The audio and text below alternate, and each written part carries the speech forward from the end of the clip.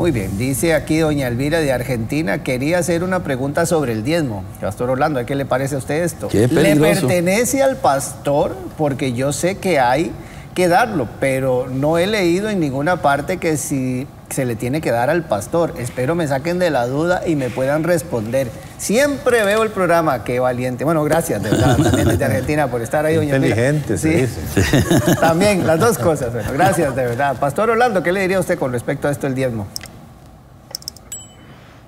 Otra buena pregunta. Este, yo he sido un poquito más controversial con el diezmo porque yo creo que en la base mi relación con Cristo me conlleva a ser un sembrador a su reino. Lo que Él hizo por mí es tan inmenso, inexplicable, eh, que como yo no puedo financiar su reino, su iglesia local, sea pequeña, grande, el ministerio, enlace, las cosas de Dios, mientras tenemos, mientras podemos y en fe también cuando a veces no podemos, debemos de ser gente que primeramente queremos financiar la obra de Dios. Y yo no entiendo cómo una persona puede tener una relación personal con Jesús y no pagar sus facturas. Entiendo también que la gente proyecta este asunto del dinero hacia el hombre, pero yo no le doy mi dinero al hombre, yo se lo doy a Dios y Dios lidia con el hombre en ese sentido.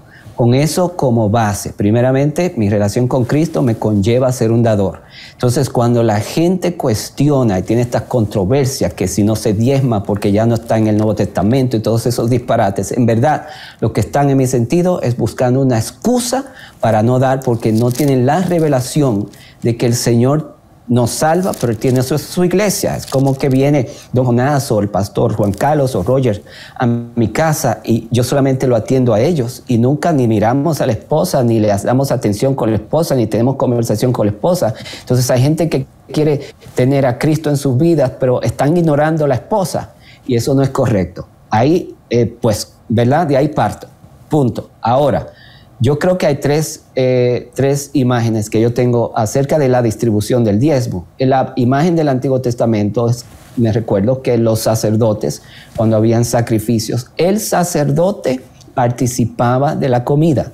Se hacía la obra, eh, se hacía el sacrificio a fuego y eh, hay instrucciones específicas de que qué parte le toca al sacerdote y también hay instrucciones específicas de que también parte de esa le toca a la familia del sacerdote y no solamente a los demás sacerdotes. Entonces todo el mundo comía. Imagen número uno. Dos, en la vida de Jesús, las mujeres que el Evangelio de Lucas menciona, que ayudaban al ministerio económicamente. Mire toda la trayectoria de estos tres años de ministerio del Señor. Siempre había comida. Eh, cuando había poca, el Señor hacía los milagros y la multiplicaba, pero era basado sobre lo que estaba eh, dispuesto y disponible para la gente, para Jesús y para los discípulos. La imagen otra vez es que el diezmo es participatorio, el pastor tiene que comer, su familia tiene que comer, los empleados de la iglesia tienen que comer y a la gente también se le distribuye por medio de los programas de la iglesia. Última imagen es la imagen del libro de los Hechos. Ya para el capítulo 6 del libro de los Hechos, dice la palabra que hasta sacerdotes del templo estaban dejando sus oficios en el templo para ir a trabajar con los, uh, los apóstoles y, y, al final de cuentas se hizo distribución a las viudas y los necesitados por toda la finanza que entró. Mi punto otra vez, habiendo dicho que Jesús es mi relación y yo con esto del diezmo no tengo ni que mirar a nadie, ni la escritura, en verdad nada veo a Cristo y sé que tengo que financiar su reino como base, también yo entiendo que contestando la pregunta, el diezmo no solamente es para, es para todo, el diezmo es para las ofrendas, todo, para el pastor, para los gastos de la iglesia, para que la familia pastoral esté bien y para los programas de caridad y de ministerio de toda la iglesia local, de acuerdo al tamaño y la capacidad que tiene el ministerio de distribuir esas cosas. Pero si alguien está distribuyendo, eh, cuestionando si al pastor se le da ofrenda, absolutamente. El apóstol no, Pablo dice que hagamos no, partícipes hay, hay, de bienes a los que nos enseñan. No, hay, hay, denominaciones y otra vez, cada, cada agrupación tiene su forma de hacerlo. Uh -huh. Yo respeto mucho. Hay denominaciones donde, que dicen que el diezmo es para el pastor y las ofrendas para los gastos eh, de la, operativos, de, la, operativos uh -huh. de la iglesia. Es el modelo que ellos tienen. Hay otros que lo tienen diferente, ¿verdad? Hay otros que, sí. ¿verdad? Hay una Entra junta todo en una sola. Todo se hace un presupuesto y ahí se Sí, distribuye. Y hay que respetar eh, como, como ustedes, lo- Si nosotros hacemos, digamos, de todos los ingresos, eh, de ahí se establece un salario para, para el pastor y los gastos de la iglesia salen de diezmos y ofrendas. Eh, ante la pregunta, ¿quién son los diezmos? Los diezmos son del Señor, ¿verdad? O, o solamente que Él, por ejemplo, en, en el, en el pacto de Moisés, le dio los diezmos a la tribu de, de Leví, ¿verdad? Pero para que administraran, y aquí dice Hebreos que aquí lo reciben hombres mortales, pero ya uno de quien sea testimonio. Entonces para mí tiene que quedar muy claro que los diezmos son del Señor. Y a mí eso, eh, si usted lo puede dar a un pastor, yo creo que sí lo puede dar a un pastor. Pero bíblicamente el diezmo era para el mantenimiento de- de- del ministerio. Eh, porque no alcanzaba con el diezmo. Es que eh, Israel daba diezmos, primicias, ofrendas, ¿verdad? Un, una, un impuesto al año. Todo varón mayor de 20 años daba medio ciclo. Y aún así no alcanzaba. O sea, los Cada gastos eran. había- había un tercer diezmo cada tres años. O sea, era un montón de gastos. Eh, y la gente a veces piensa que los diezmos son cifras, ¿verdad? Eh, que en la iglesia alcanzaría para todo. Y tampoco es, es- es tan, tan así, a men- a menos en algunos casos.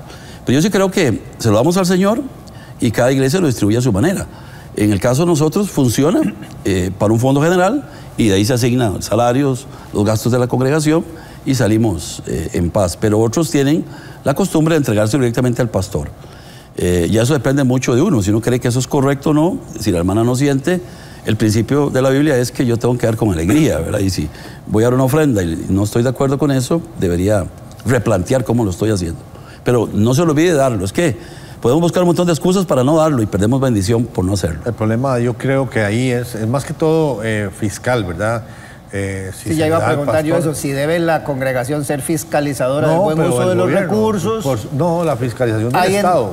Porque, sí, pero hay entidades, depende, me imagino que en cada país, pero y, eh, obviamente pero- también hay los pero entes fiscalizadores de la forma en que se utilizan los recursos en todo lado, pero sí, ya sí. viéndolo desde el punto de vista congregacional, el pastor debe tener muy buen testimonio también en el sentido de que lo que están poniendo se está haciendo buen uso. Eh, Sí, posiblemente, pues, estoy seguro que sí, pero eh, por otro lado, eh, ese pastor tiene que reportar al Estado lo que, lo que él recibió de, porque sería un- una especie de salario. ¿verdad? Correcto. Entonces él tiene que estar reportando sus ingresos y estar pagando al fisco a Dios lo que es de Dios y al César lo que es del César. Entonces tiene que estar cumpliendo entonces, pero, pero eso, eso es, cada organización tiene su forma de ser. Ok. Aquí don, don Gastón de Argentina, Pastor Orlando, eh, hablaba algo, creo que de lo que usted estaba mencionando ahora, dice, yo estuve en la iglesia y dejé de ir por 13 años, volví a reconciliarme con el Señor, escuchará el Señor mis oraciones y mi clamor.